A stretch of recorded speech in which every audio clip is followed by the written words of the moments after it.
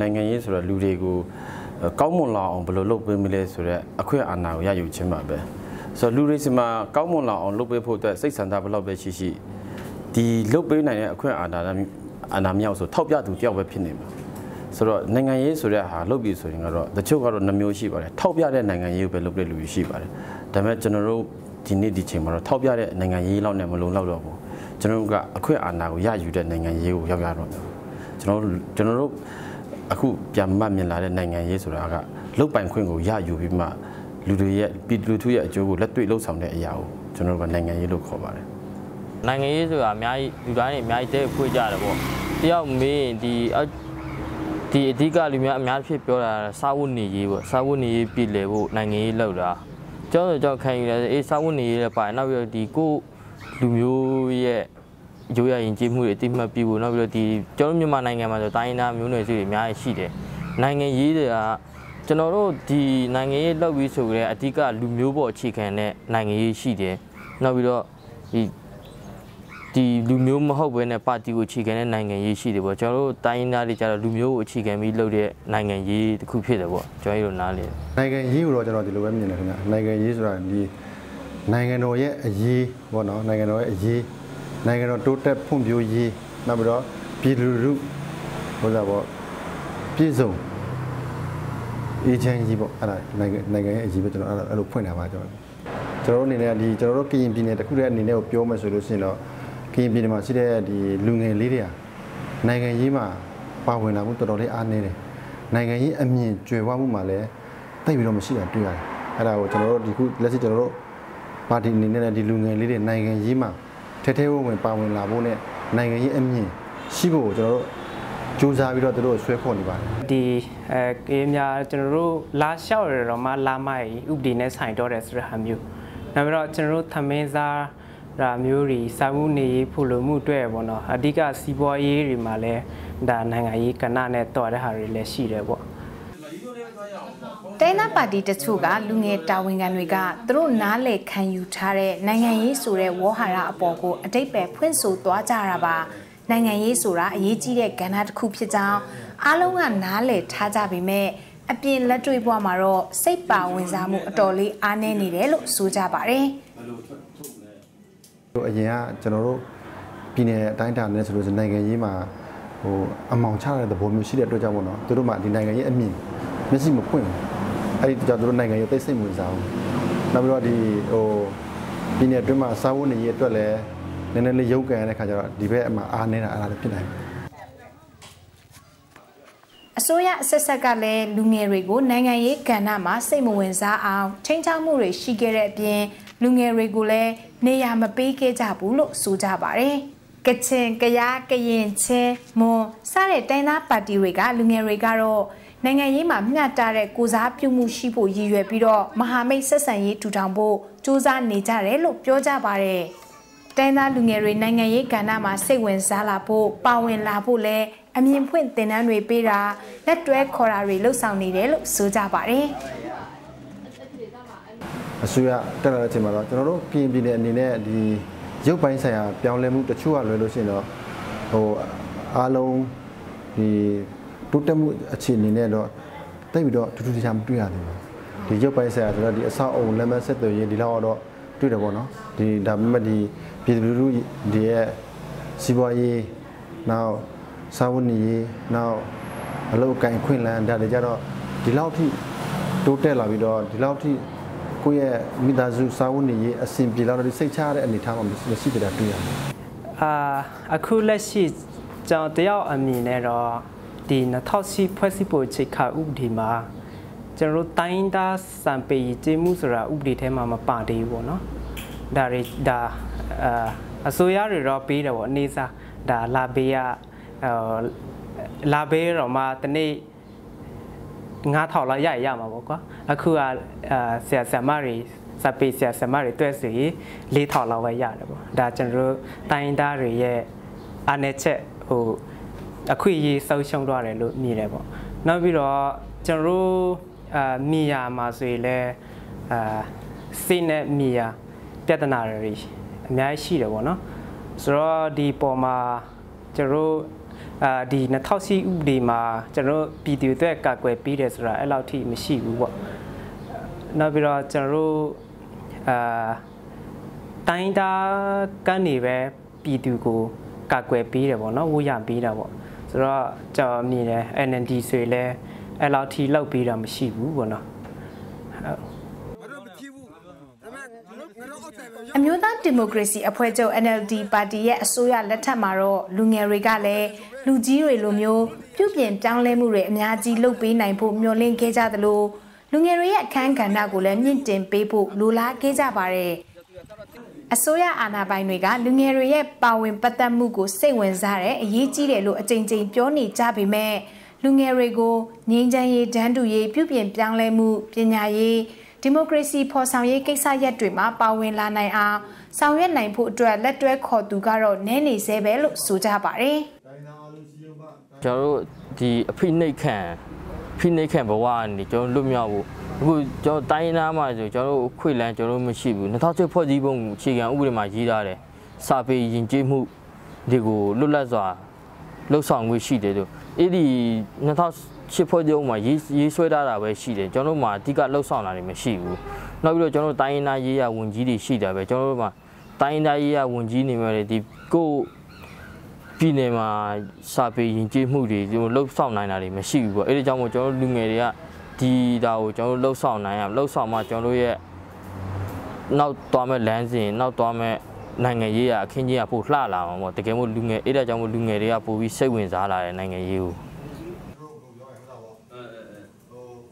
2015ရွေးကောက်ပွဲမှာ NLD ပါတီဟာအစိုးရဖွဲ့နိုင်မယ်ဆိုရင်တိုင်းရင်းသားတွေလူလားတောင်းတနေကြတဲ့ဒန်းတူရေးကိုပိုင်ပြဋ္ဌာန်းခွင့် ကိုကြမာကိုဖန်တီးခွင့်လွတ်လပ်ပြီးတော့တရားမျှတတဲ့ဒီမိုကရေစီနဲ့ဖက်ဒရယ်ပြည်ထောင်စုတည်ဆောက်နိုင်ရေးတို့အတွက်အခွင့်အရေးတွေကိုမျှော်လင့်ခဲ့ကြပေမဲ့ဘာတစ်ခုမှဖြစ်မလာခဲ့တာကြောင့်ဒီနှစ်မှာတော့လိုချင်တဲ့ပန်းနိုင်စီကိုသွားနိုင်ဖို့တိုင်းသားလူငယ်တွေရဲ့အားနဲ့တိုင်းသားပါတီတွေအချင်းချင်းဝန်းရံသွားမယ်လို့ဆိုကြပါတယ်။လူငယ်တွေရဲ့အခန်းကဏ္ဍဘယ်လောက်ရေးကြီးတယ်ဆိုတော့ကျွန်တော်တို့မှာဒီတိုင်းနာမှာအဓိကကြည့်မယ်ဆိုရင် ဒီလူငယ်မဲပေးနိုင်ခွင့်အခြေအနေထဲမှာတိုင်းနာလူငယ်တွေကအဓိကအများဆုံးဖြစ်တယ်ဒီကဒီအသက်ကြီးွားလူကအ ਨੇ ကျင်းတော့ပဲရှိတယ်ဒီတိုင်းလူငယ်တွေကိုအဓိကဦးစားပေးရဘာဖြစ်လို့လူငယ်တွေမဲပေးမှပါတီတစ်ခုကအောင်နိုင်မှုကအဓိကအဓိကပြစ်မှတ်တစ်ခုဖြစ်တယ်ဘာဖြစ်လို့လဲဆိုတော့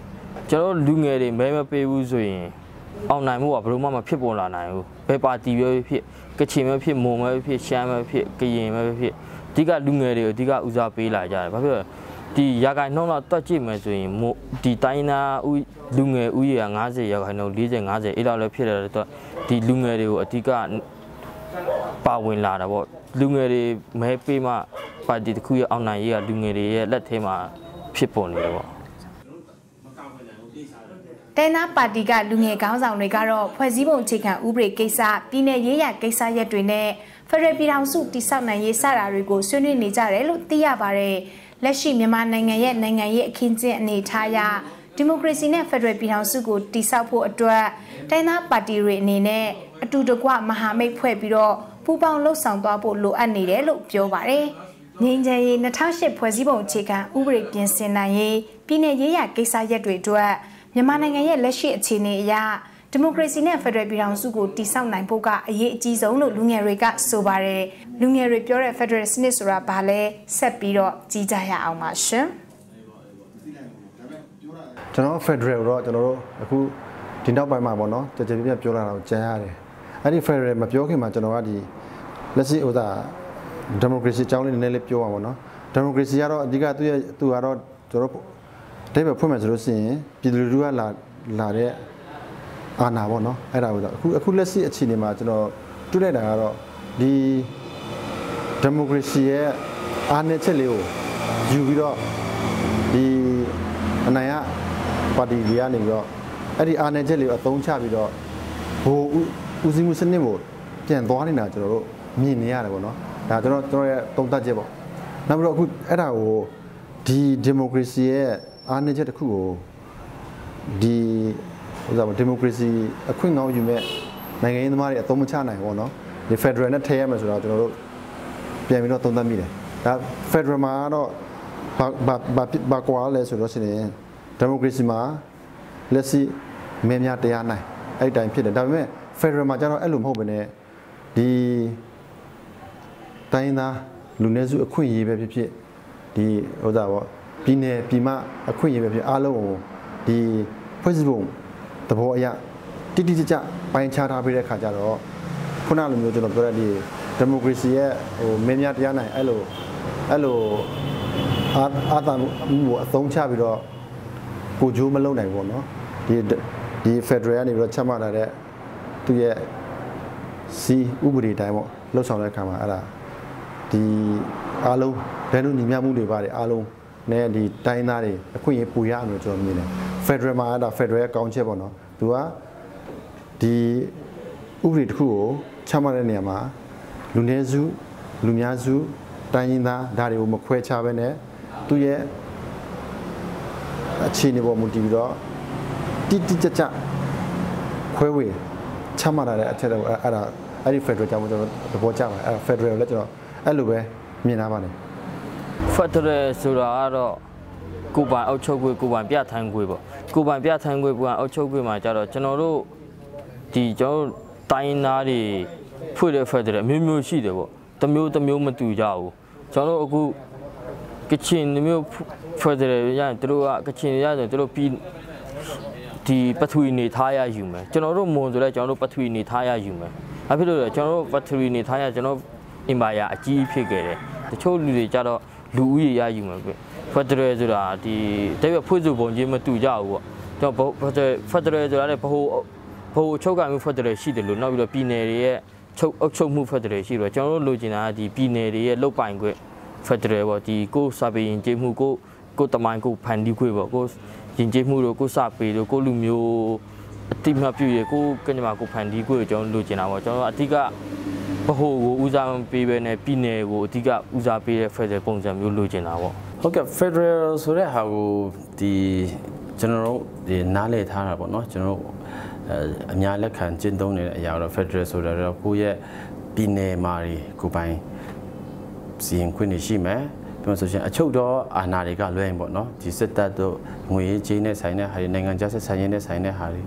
ဒါတွေကလွဲလို့ရှိရင် Federal တွေက သူရဲ့တိုင်းပြည်တစ်ခုနဲ့တစ်ခုတော့မတူဘူးပေါ့နော်တချို့ကပညာရေးကအစဟိုဟာ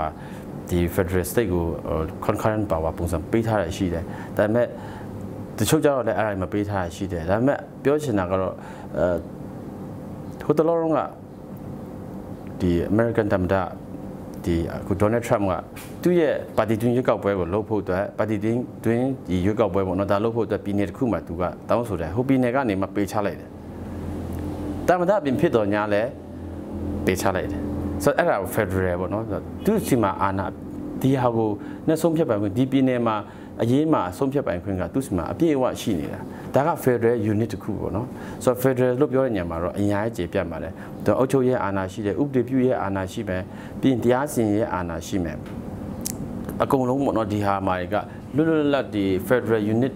ဘက်ကိုသွားရဆိုတာတော့ကိုယ့်ရဲ့ပြည်နယ်ကိုကို စီမံတယ်ကိုယ့်ရဲ့ပြည်နယ်နဲ့ထပ်တူထပ်မြတ်ဖြစ်တဲ့ဟာကိုလုတ်တဲ့ဟာပေါ့နော်ကျွန်တော်တို့ကဒါကိုကိုပိုင်စီရင်တစိတ်တစ်ပိုင်းပေါ့နော်ကိုပိုင်စီရင်ခွင့်တစ်ခုလို့ကျွန်တော်တို့ကအဲ့လိုမျိုးရှုမြင်ပါတယ်